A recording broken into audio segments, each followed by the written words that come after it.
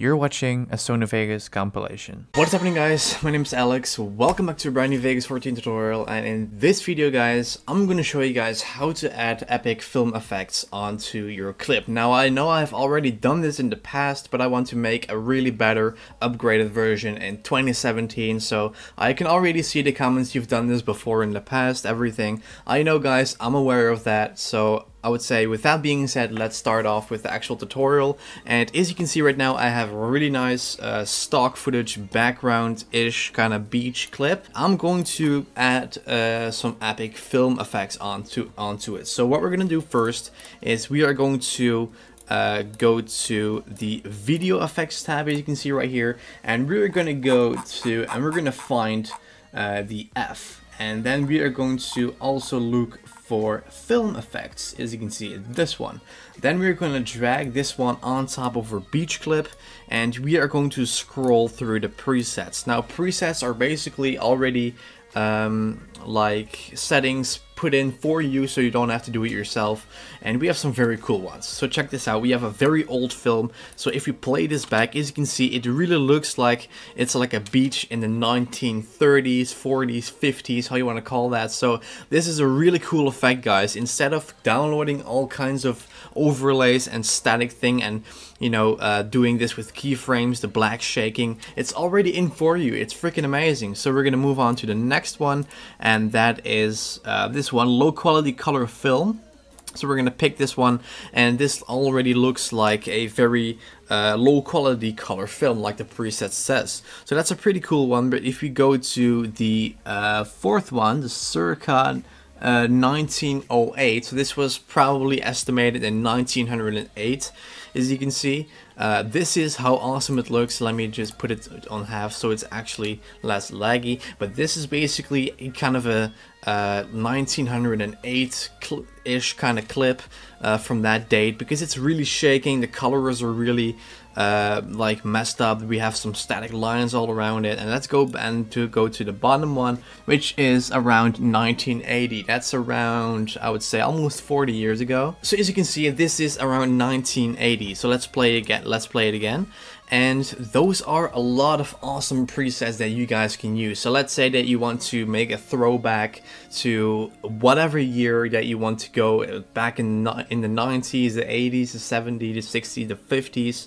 You can also just, you know, put those film effects on top of your clip. I don't know if you guys ever noticed that this was in the video effects tab, like film effects, because most people would just go to YouTube and they would type in like uh, old film effect overlay and they would mess with it. But you can also mess around with the clip itself, as you can see. If you go back to the really old one, you can uh, like improve the improve the grain, as you can see a lot so it looks even more pixelated. Uh, we can completely like completely remove it. We can put it on maximum. It almost looks like it's like a static TV or something. We can also mess with the tint, as you can see, but that's you're not, you're not going to see anything if you put that up all the way. But you can choose the color as well. Like you can make it even black and white, like like this. It looks like of a uh, maybe like a like a World War um, like clip from a beach or something. You can mess around with so many different things. So those are some awesome film effects, guys. I hope this video was helpful to you. If not, make sure to leave me in the comments down below, and I will be happy to to help you out. So make sure to smash the like button down below for more Vegas 14 tutorials, as always on Monday and Friday. So that is it for this video, and I will catch you guys tomorrow for a brand new Evolving into a Better YouTuber episode, as usual every Saturday at 7 p.m. That is 10 a.m. PST. So thank you, and I'll catch you guys tomorrow. Alright guys, so we are in Vegas 14 right now and as you can see I have the error box showing on my screen. So right now it says the following file could not be found in the specified location and then it says a location and then we have a couple of options what we want to do. So as you can see right now, it says one is search for missing file, specify a new location or replacement file, ignore missing file and leave it offline, ignore all missing files and leave them offline. Now what we're gonna do, first of all, this means that you have imported a clip into Vegas 14 you have shut down Vegas and you have moved that clip to another location. So let's say that you have a picture on your desktop once you put that one into Vegas, Vegas keeps the desktop in mind. So once you move your picture from your desktop into uh, images or you delete it, Vegas cannot find it anymore. And what we're gonna do first of all, as you can see, it is just a starburst. What we're gonna do is we're going to click on specify a new location or replacement file. Then this box is popping up and right now you want to go ahead and look for the name of the file. As you can see the name it says right here. Uh, what we're gonna do then is we're gonna go find the file. I just renamed it and as you can see if I double click on it it is right now finally loading into my screen guys. This is basically the image and that is how to fix it. You just want to go ahead and find the file on your computer. Uh, it doesn't matter in which folder it is just make sure to go ahead and do that. So this is how to do it guys. So I want to thank you for watching. That is it. I hope you guys enjoyed. Make sure to smash the like and the subscribe button down below for more Vegas tutorials as always on Wednesday and Friday. So thank you for the support and I will catch you guys in the next video. What's happening guys? My name is Alex. Welcome back to a brand new Vegas 14 tutorial. And as you guys guys can see there is no green screen because a lot of people have been asking like dude can you please make a video without a green screen so you guys can actually see the silver play button hanging up there? So this video is without green screen so you guys can see the play button the reward in its full glory hanging on my wall right there.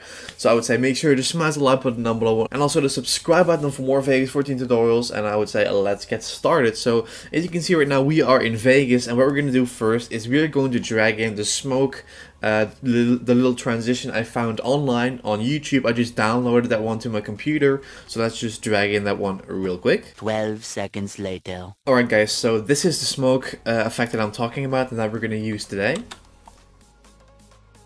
We're gonna make our letters and our words appear uh, when the smoke goes along, as you can see. So the first thing that we're gonna do is we're gonna add a chroma key on top of the smoke because we want to see through the smoke, not only black. So we are gonna scroll down until we find a chroma key. We're gonna drag the default one on there. We're gonna change the color to black so we will actually actually see through it. Now what we're gonna do is we're gonna add this one uh, to our you know to our text. So what we're gonna do is we're gonna go to media generators. We're gonna click on titles and text. We're gonna add a default one and we're gonna put that one underneath the text so let me create a new video track as you can see and we're gonna put the smoke ab above it as you can see right there then what we're gonna do is we're gonna make it as short as a smoke then we're gonna type in I would say uh, just Alex Halford. We're gonna make that one a little bit smaller. I would say 20 maybe that's yeah that's that's great then we're gonna choose a nice different font because we want to have something a little bit different than the standard one so I think if we pick uh, this font that looks actually pretty great. Let me see if we have any other other fonts. All right this one looks pretty good so we're gonna just close this out.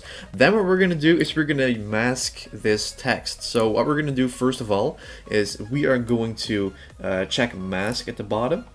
Then we're gonna just make uh, pick the anchor creation tool. Then we're gonna make a little kind of a square-ish rectangle uh, next to the text. So then we're going to start using keyframes and then we're going to make the text appear in the screen. So what we're going to do now is we're going to place our keyframe a little bit to right here to the right. Then what we're going to do is we're going to uh, put the text actually then we're going to start making the text appear so I'm going to make a few keyframes uh, this one right here just drag this guy a little bit to the right so it will actually start to appear then also put a new keyframe down uh, drag it a little bit to there, drag another keyframe, place it a little bit more, another keyframe until the fully text is fully visible. So I think I need one more keyframe and as you can see right now just Alex Halford is full in the screen. So let's see what it looks like without the actual uh, smoke. As you can see that looks really great but we're gonna cut from where it starts. So I'm just going to um, cut away this part as you can see. Now it's starting with the J. So if I put the text over it and let me also uh, put the text a little bit to the right so, I'm, so it will look like it's synchronized with the smoke. This is how it looks. As you can see, that looks really amazing, guys. So this is how you make text, uh, like a text smoke effect, make the text appear uh, like under smoke, how you want to call this, this is how to do it. That looks really awesome guys, so this is how to do it. I want to thank you for watching. That is basically how simple it is. You just want to animate the, the text under the smoke and make the smoke uh, synchronize uh, with the letters as you can see. So that looks really really awesome and this is how to do it. Now you can start doing it on your own text. So I want to thank you for watching. Thank you for the continued support. I will see you guys uh, tomorrow or maybe Sunday with a new remake of an old video. My old video, the, the how to drive a car easily video is actually actually four years old on June 7th, a couple of days ago. So I just want to make a nice remake in 2017. So make sure to stay tuned and make sure to check out that video. That will release either Saturday or Sunday. I'm not really sure. But I want to thank you for watching. I'll see you guys in the next video. And I'll see you guys next time. Just Alex Halford.